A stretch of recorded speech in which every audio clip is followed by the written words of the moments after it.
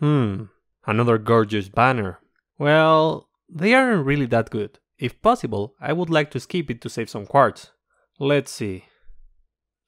No rolling on summer banner, I guess.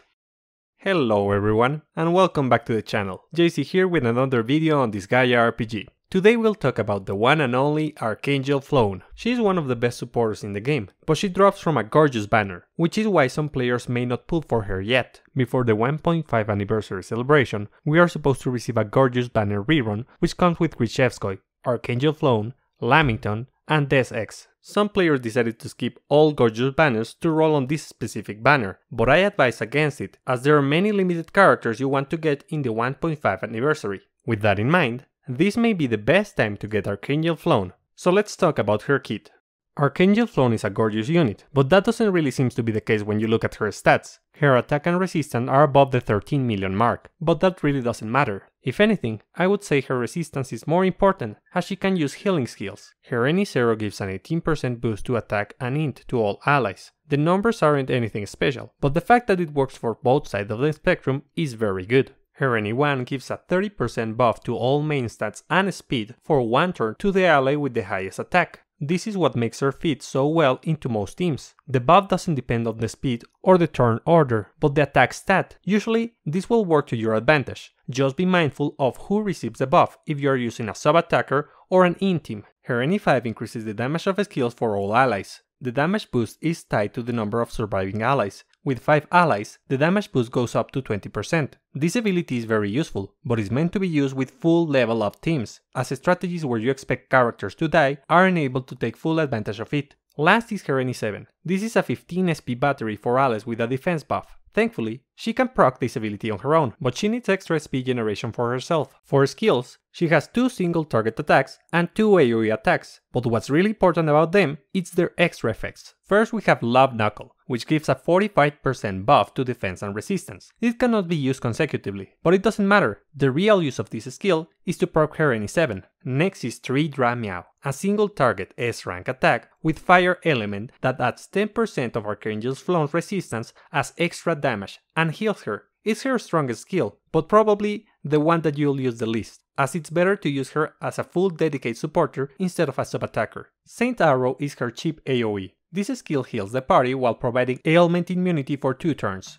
And of course, her NE3 skill is Great Flunsor X, a high-cost water element AoE attack which raises the party's basic stats by 25% and increases a single ally's critical damage by 20%. To finish with her kit, let's talk about her magic spells. She has both good healing spells and buffs. She unlocks Mega Braveheart at level 22, Mega Espoir at level 30, and Giga Heal at level 40.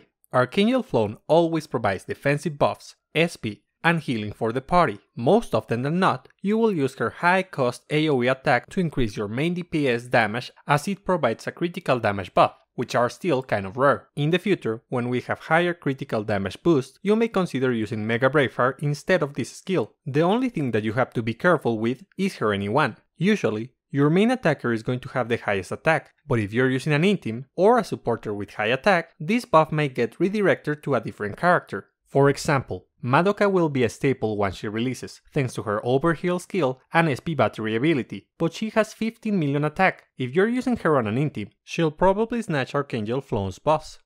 Archangel Flonne is never going to be working as your main attacker, not only because she isn't a 15 million attacker, but also because most of her abilities give their benefits to all allies. She doesn't even receive the benefit from her SP battery. In the same way, it's meaningless to talk about what attacker pairs well with her, as she benefits both sides of the spectrum. She can clearly work better with physical attackers, but that's only because she can use Mega Braveheart. All of her abilities and buffs benefit whatever main attacker you're using. So instead, we will talk about the other supporters you want next to her. With her medium cost skills, she needs to generate a lot of SP in order to use them constantly. That's why you should consider using Supreme Laharl. Not only does he pair well with her thanks to the SP battery on his Any1, but also because of his Supreme style, which buffs all stats. This matches perfectly with Archangel's Flonne Any1. and the critical damage boost from his Any7 is also very good.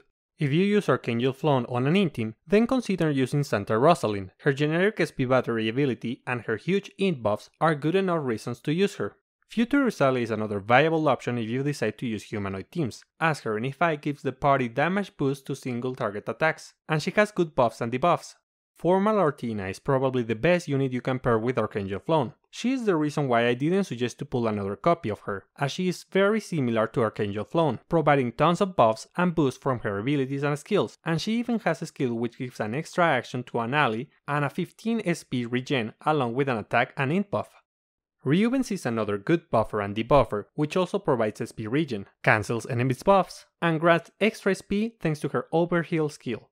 Sapphire Sin is one of the best attack buffers in the game, thanks to her abilities and skills. She works best next to an axe DPS unit, but the vast majority of the buffs and boosts she provides aren't restrictive.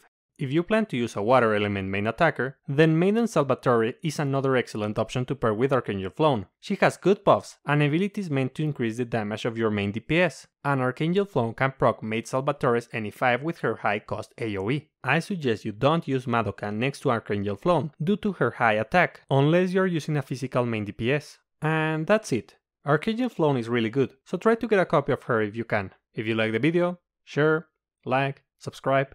See you next time. Bye.